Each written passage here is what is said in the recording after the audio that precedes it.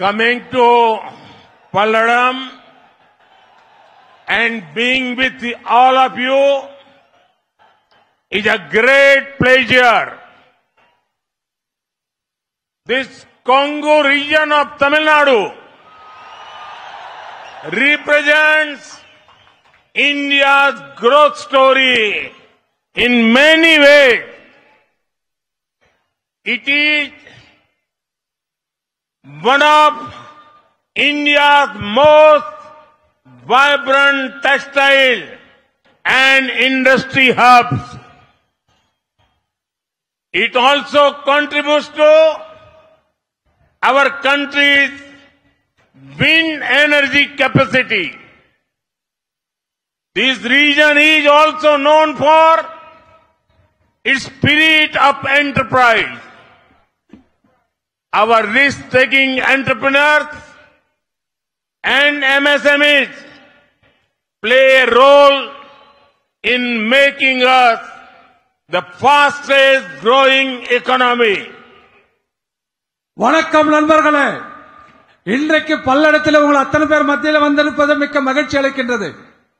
தமிழ்நாட்டில் கொங்கு பகுதியானது இந்தியாவுடைய வளர்ச்சி பாதையில் மிக முக்கியமான பங்கெடுத்து காட்டிக் கொண்டிருக்கின்றது. அது மட்டுமல்ல இங்கு மிகவும் ஜவுளி தொழில் மிகவும் துடிப்பான ஒரு தொழிலாக இருந்து கொண்டிருக்கின்றது.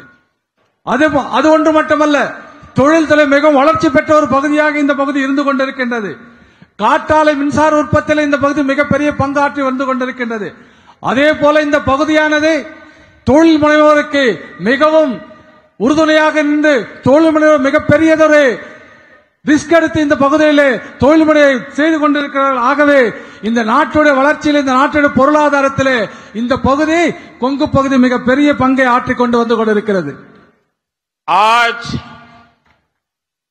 जहां भी मेरी नजर पहुंच रही है लोग ही लोग नजर आ रहे हैं ऐसा लग रहा है जैसे मानो केसरिया समंदर। इतना बड़ा विराट ये सम्मेलन आप सब इतनी बड़ी तादाद में हम सबको आशीर्वाद देने के लिए आए। मैं आपका हृदय से बहुत बहुत अभिनंदन करता हूं நண்பர்களே இவ்வளவு பெரிய மிக- மக்கள் கூட்டத்தை பார்க்கின்ற பொழுது மிகப்பெரிய காவி கடலை கண்டது போல இருந்திருக்கிறது இந்த மாநாட்டில் வந்திருக்கிற அத்தனை பேருக்கும் எனது மனதார்ந்த வாழ்த்துக்களும் நன்றிகளையும் தெரிவித்துக் கொள்கிறேன் जो लोग दिल्ली के एयर कंडीशन कमरों में बैठकर देश को टुकड़ों में देखने की कोशिश करते हैं देश को टुकड़ों में बांटने की कोशिश करते हैं वो जरा आकर के देख ले तमिलनाडु हिंदुस्तान का भाग्य बनाने वाला ये राज्य आज आपकी आंखों के सामने है நண்பர்களே டெல்லியில ஏசிகள் அமர்ந்து கொண்டு தமிழ்நாட்டை பார்த்துக் கொண்டிருக்கிறார்கள் ஆனால் தமிழகம் இந்த தேசியத்தை பக்கம் இன்றைக்கும் இருந்து கொண்டிருப்பதை இன்றைக்கு வந்திருக்கிற இந்த கூட்டத்தின் மூலமாக நீங்கள் அத்தனை பேரை நிரூபித்துக் கொண்டிருக்கிறீர்கள் जो राजनीति के समीकरण बनाते हैं वे लिख लें इस बार देश का भाग्य पक्का करने में तमिलनाडु सबसे आगे होगा நண்பர்களே எனக்கு நம்பிக்கை இருக்கிறது தமிழகம் இந்தியாவில முதன்மை மாநிலமாக மாற வேண்டும் என்ற நம்பிக்கை இருக்கின்றது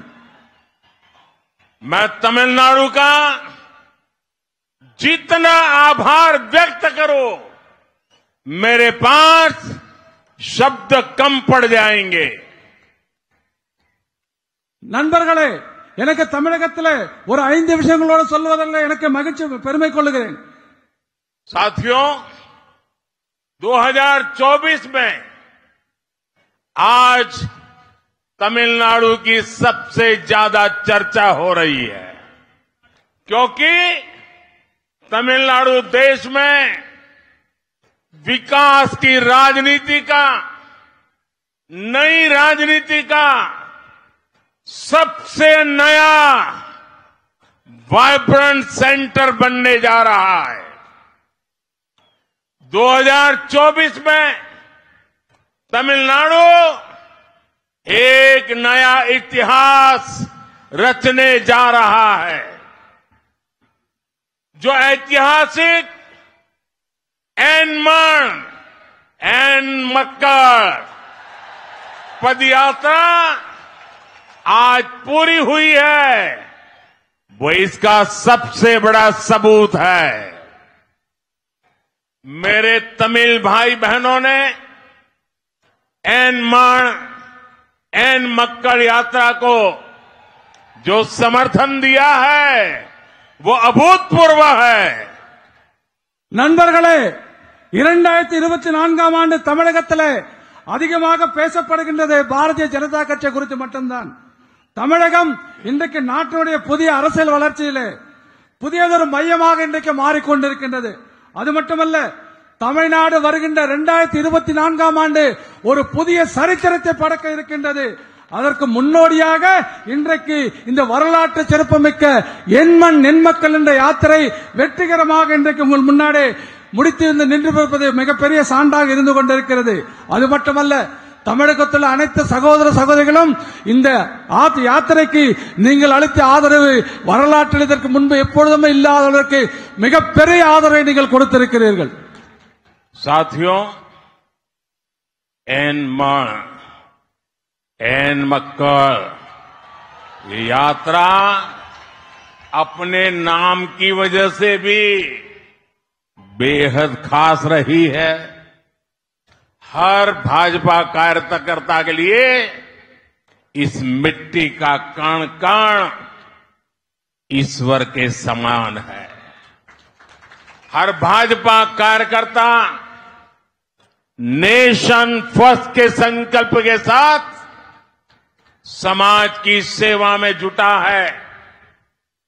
मैंने भी देखा है कैसे समाज के हर एक वर्ग ने इस यात्रा के दौरान बीजेपी के लिए अपना समर्थन, अपना आशीर्वाद दिया है। मैं विशेष रूप से अपने युवा और ऊर्जावान सहयोगी भाई अन्ना मलाई को अनेक अनेक शुभकामनाएँ देता हूँ।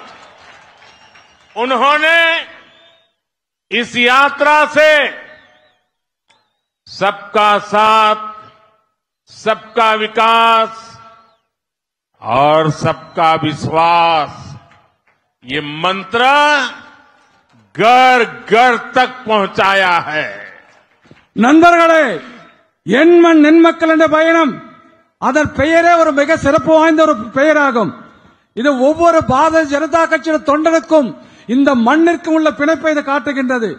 ஒவ்வொரு பாரதிய ஜனதா கட்சி தொண்டனும் இந்த மண்ணும் கடவுளுக்கு சமமானவர்கள் என்று நான் கருதுகின்றேன். அதே போல நாடுதான் முதன்மை என்று பாரதிய ஜனதா கட்சி கருதுகின்றது. கருதுவது மட்டுமல்ல இந்த சமூகத்திலே சமுதாயத்திலே இருக்கின்ற அத்தனை பேருக்காக இந்த பாரதிய ஜனதா கட்சி தொண்டர்கள் உழைத்துக் கொண்டிருக்கிறார்கள். ஆகவே இந்த பகுதியிலே பாரதிய ஜனதா கட்சிக்கு மிகப்பெரிய ஆதரவு வந்திருப்பது என்பதை நான் குறிப்பாக கவனித்து வந்து கொண்டிருக்கிறேன். அத்தனைக்கு மேலாக இந்த யாத்திரை தலைமை தாங்கி நடத்த சென்ற எனது சகோதரமான ஆற்றல் மிக்க துடிப்பு மிக்க அண்ணாமலை அவர்களுக்கு என்னுடைய மனமார்ந்த வாழ்த்துக்களை தெரிவித்துக் கொள்கிறேன்.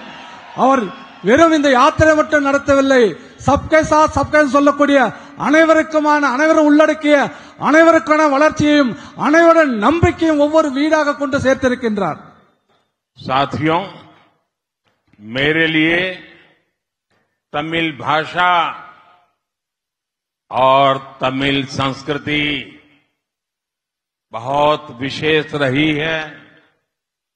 संयुक्त राष्ट्र में, यूएन में मैंने जो तमिल कविता पढ़ी थी, उसके बारे में विदेशों तक में पूछा जाता है।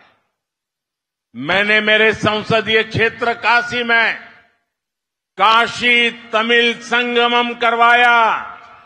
उसे लेकर भी लोग सवाल पूछते हैं। मैंने इस देश का महान परंपरा का सम्मान करते हुए, तमिलनाडु की महान परंपरा, उसका सम्मान करते हुए, पवित्र सेंगोल को, पवित्र सेंगोल को देश की संसद में सबसे ऊँचे मंच पर स्थापित किया। इसे लेकर भी आज देशवासियों के दिल में तमिलनाडु को जानने की एक नई जिज्ञासा पैदा हुई है। तमिलनाडु से मेरा रिश्ता राजनीति का नहीं है। ये रिश्ता दिल का है और दशकों पुराना है। मुझे तमिलनाडु की मिट्टी ने हमेशा असीम प्रेम दिया है।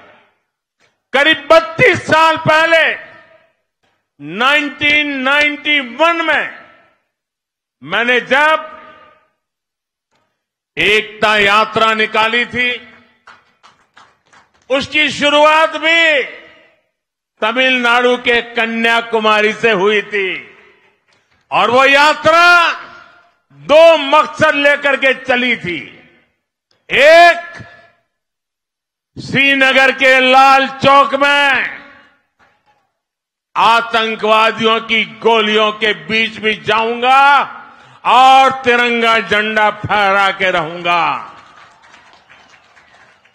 और दूसरा संकल्प था, आर्टिकल 370 हमेशा हमेशा के लिए मिटा के रहूँगा। और इसलिए कन्याकुमारी से तमिलनाडु की मिट्टी को माथे पर चढ़ा के निकला था। और आज आज वो दोनों काम, आज लाल चौक में शान से तिरंगा फहरा रहा है। और आज आर्टिकल 370 इतिहास के पन्नों में बंद हो चुकी है अब एन मण एन मक्कड़ यात्रा तमिलनाडु को एक नए पथ पर ले जा रही है நண்பர்களே தமிழ் மொழியும் தமிழ் பண்பாடும் எனக்கு மனதிற்கு மிகவும் நெருக்கமானது மட்டுமல்ல மிகவும் சிறப்பு வாய்ந்தது அதனால்தான் ஐக்கிய நாடுகள் சபையில பேசுகின்ற பொழுது நான் படித்த தமிழ் கவிதைகள் அங்கே படித்தேன்.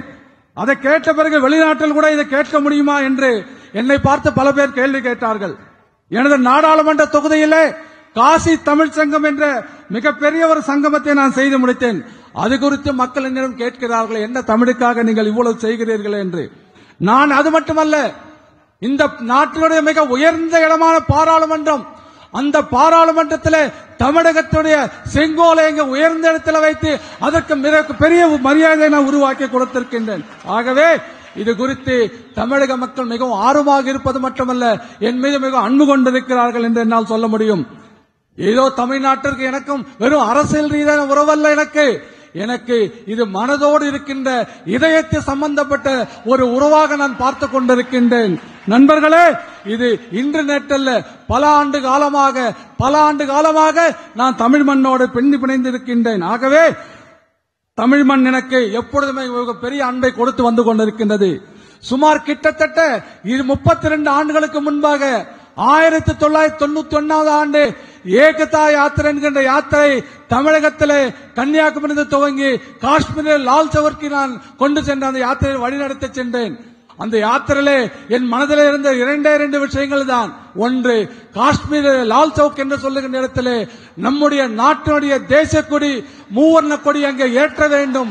இரண்டாவது அந்த காஷ்மீர் மாநிலத்தில் கொடுக்கப்பட்ட முன்னூத்தி எழுபது சட்டத்தை ரத்து செய்ய வேண்டும். இதுதான் அதன் நோக்கமாக இருந்தது.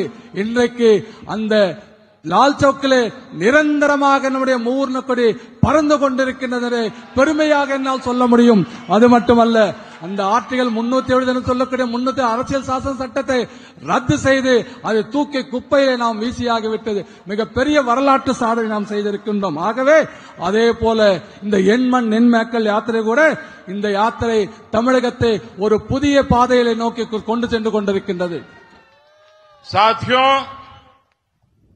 बीजेपी तमिलनाडु में भले ही कभी सत्ता में न रही हो, लेकिन तमिलनाडु हमेशा बीजेपी के दिल में रहा है। ये बात आज हर तमिल भाई बहन जानता है, हर तमिल भाई बहन समझ रहा है। इसलिए जिन्होंने दशकों तक तमिलनाडु को लूटा। वो लोग बीजेपी की बढ़ती ताकत से घबराए हुए हैं।